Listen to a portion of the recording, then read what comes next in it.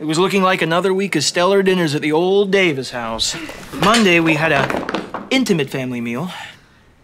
Tuesday, we all sat together, ish. But today,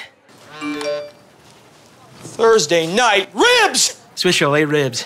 Yeah, I was a bit excited. A bit. A lot.